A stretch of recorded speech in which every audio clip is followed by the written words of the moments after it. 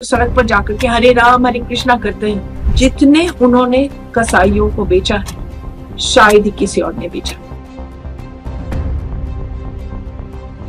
गायों को लेकर भाजपा सांसद मेनका गांधी ने इस्कॉन पर बड़ा आरोप लगाया है, जिसके बाद सियासी गलियारों की भी हलचलें बढ़ गई हैं। मेनका गांधी के बयान को लेकर विपक्षी दल हमलावर हो गए हैं अब तो समाजवादी पार्टी ने भी भाजपा सांसद के खिलाफ मोर्चा खोल दिया है। सपा सुप्रीमो अखिलेश यादव ने मेनका के बहाने पूरी भाजपा पर ही हमला बोल दिया है। इस्कॉन मामले को लेकर सोशल साइट एक्स पर अखिलेश यादव ने भाजपा पर निशाना साधा और लिखा कि भाजपाइयों ने पहले भूमाफियाओं से मिलकर राधा स्वामी सत्संग को निशाना बनाया और भाजपा के लोग अब गोपालक भगवान कृष्ण के उपासकों पर ही कसाईयों को गाय बेचने का विभत्स आरोप लगा रहे हैं। विश्व भर के इस्कॉन के अनुयायी इस आरोप से व्यथित और दुखी हैं।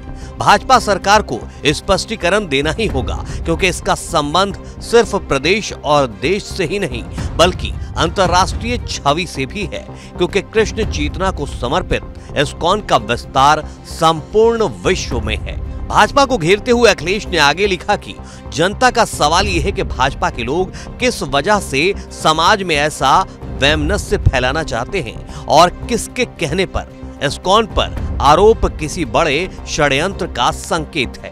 बता दें कि मेनका गांधी ने इस्कॉन पर बड़ा आरोप लगाते हुए कहा था कि इस्कॉन गायों को कसाईयों को बेच रहा है।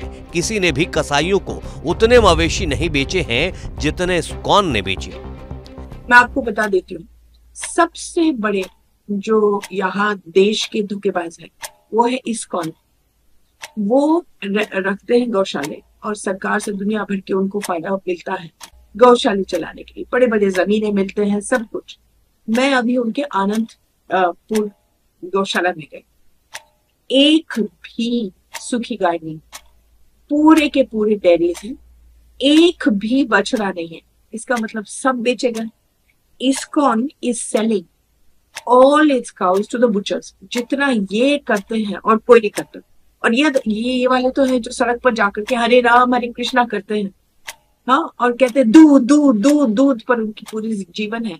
जितने उन्होंने कसाईयों को बेचा है, शायद ही किसी और ने बेचा तो अगर ये कर सकते हैं तो बाकियों का क्या होगा? वहीं मेनका गांधी के आरोपों का खंडन करते हुए इस्कॉन ने भाजपा सांसद के आरोपों को निराधार बताया और कहा कि इस्कॉन दुनिया भर में गाय संरक्षण और शाकाहार में अग्रणी रहा है और कई देशों में गौशालाओं का निर्माण और रख रखाव कर रहा है। इस्कॉन श्रीमती मेनका गांधी जी के झूठे, गलत बयानों का खंडन करता है। ये सच नहीं है, क्योंकि इस्कॉन भारतवर्ष में नहीं, पूरी दुनिया में गायों की और बैलों की प्रेम से, श्रद्धा से सेवा कर रहा है। भारतवर्ष में कुल साठ गौशालाएँ हैं और हर गौशाला में हम गायों और बैलों की भक्ति के साथ उनकी सेवा करते हैं। यही नहीं, जो घायल दशा अवस्था में आती हैं, बीमार होती हैं, उनकी भी हम सुरक्षा करते हैं और केयर करते हैं। तो ऐसा बयान देना बिल्कुल गलत है।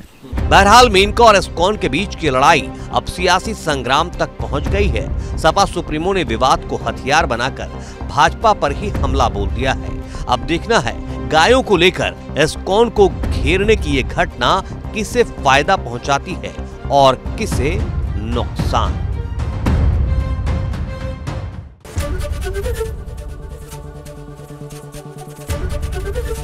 एबीपी गंगा खबर आपकी जुबा आपकी।